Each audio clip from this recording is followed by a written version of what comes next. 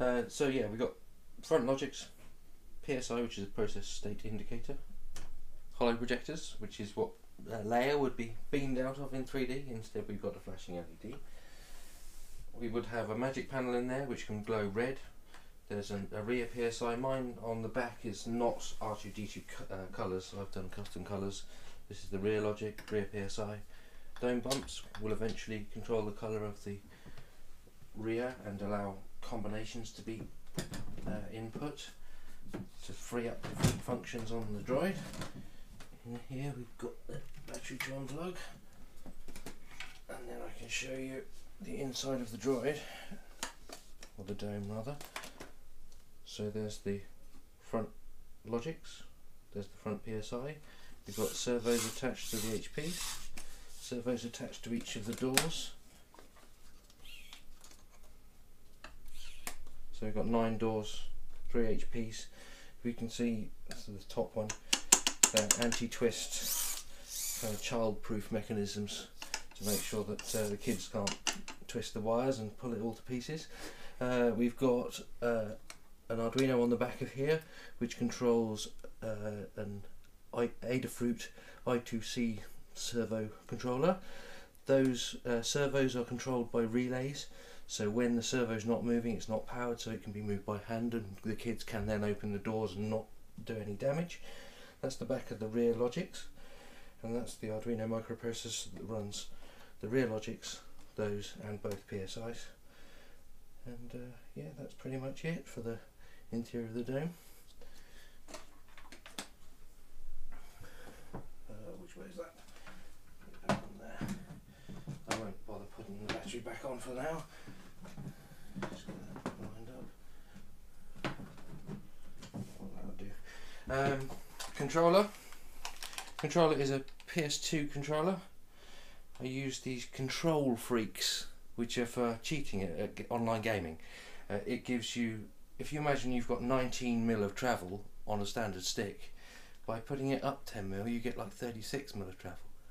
So it actually makes it, a, you know, when you're driving around, a lot more sensitive, and especially driving around kids and stuff. That's really really useful. Uh, I apply accelerations to my motors anyway, so it's not twitchy. It doesn't. A lot of the RC gear is really twitchy and difficult to drive. This is, yeah, really really simple. And in fact, I do hand it over to four and five year olds at events for them to drive. But we've just got uh, public liability insurance, so we won't be able to do that anymore. Um, so yeah, PS2 controller talks to a microprocessor in the box. That outputs certain information to the screen, so I get feedback from the droid as to what's going on, what's on and what's off, uh, and whether it's it's running a command.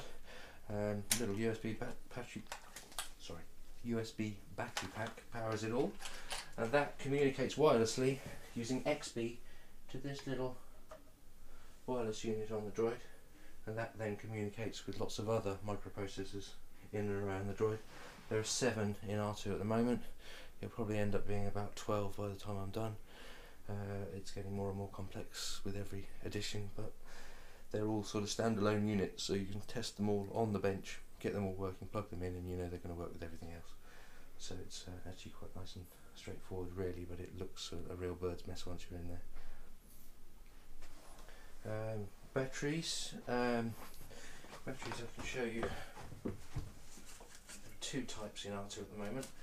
One is 5 volt lithium polymer uh, travel battery.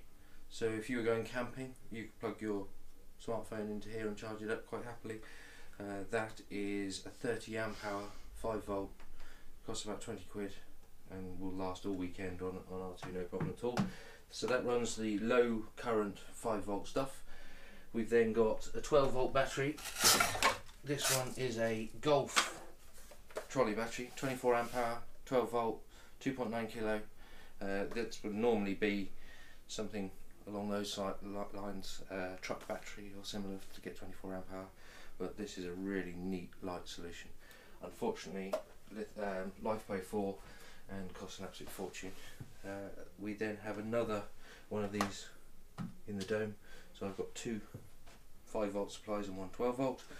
The 12 volt is passed from top to bottom via this thing called a slip ring that allows it to turn. The top here I've got a potentiometer which allows the position of the dome to be known by the body so I can tell that R2 at any time to face forward or to do a head shake or to spin his head one um, you know a full turn. Um, you know lots of control. And it's um, yeah it's quite a nice little setup really. Uh, 232 is these actuators here. The 232 is the two leg to three leg conversion as I keep saying. Uh, the actuators drive these arms. If I turn this a little you'll be able to see better. These arms push this central plate which is on a bearing. And as that turns that these stay with the body. And this moves with the leg. Connected to here off a little uh, foot is a bar going to the ankle. And that keeps the ankle locked in. So for example there it's all solid.